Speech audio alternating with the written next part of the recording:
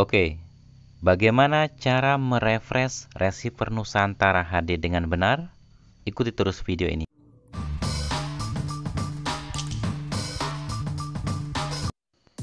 Ini dia skema cara refresh receiver Nusantara HD dengan benar.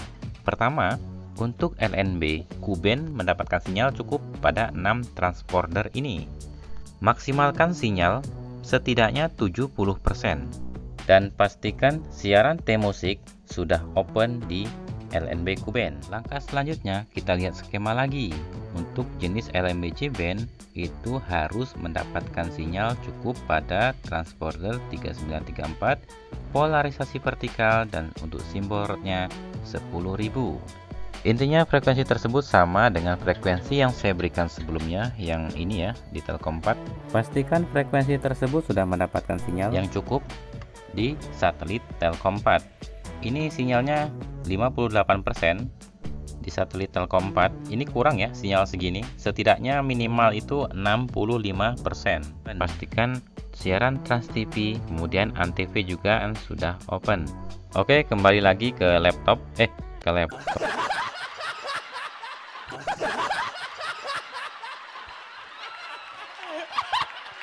Maksudnya kembali lagi ke skema ini ya teman-teman. Oke setelah dua syarat di atas sudah terpenuhi Langkah selanjutnya kita buka menu Kemudian kita gulir ke kanan.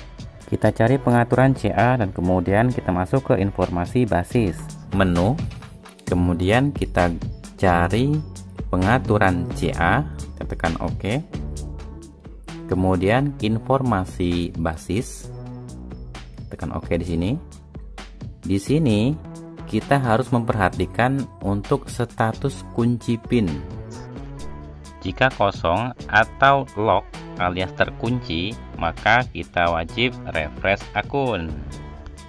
Namun apabila status unlock alias terbuka, maka kita masuk ke informasi operator.